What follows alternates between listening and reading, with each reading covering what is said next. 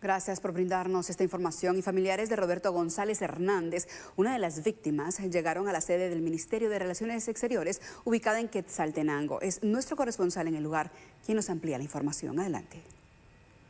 La sede del Ministerio de Relaciones Exteriores con sede en Quetzaltenango ha recibido a los primeros familiares de una de las víctimas de la tragedia en la estancia provisional de Ciudad Juárez, Chihuahua, México.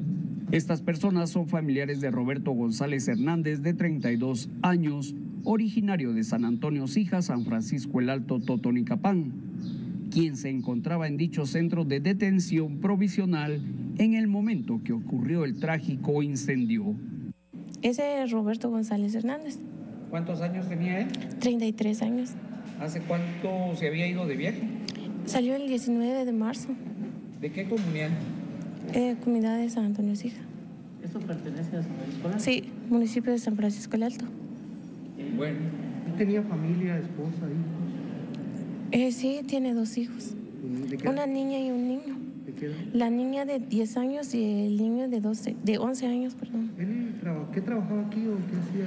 Eh, trabaja en la sastrería. ¿Era sastre? Sí, sastre. ¿Y se le complicó mucho su trabajo? Sí, ya no conseguía trabajo. Ya no conseguía trabajo se le complicó mucho y por eso tomó la decisión en, en, irse. ¿Hace cuánto tiempo él decidió irse para Estados Unidos? Hace poco. Sí, hace poco. ¿Qué fue lo último que platicaron con él? Eh, no fue mucho lo que, lo que platiqué con aquel porque estoy casada. Sí, sí, no fue la, la última vez que lo vi, fue el, el 19, cuando se, se despidió y se fue.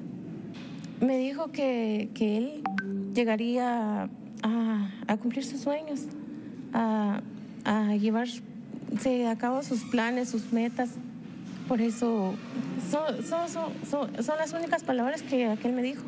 Pues la verdad opino que, que eso es injusto y yo pido justicia por eso, porque, porque lo, que, lo que hicieron los, los, la migración no reaccionaron inmediatamente cuando vieron que ya se estaba incendiando la bodega o el reclusorio que digamos.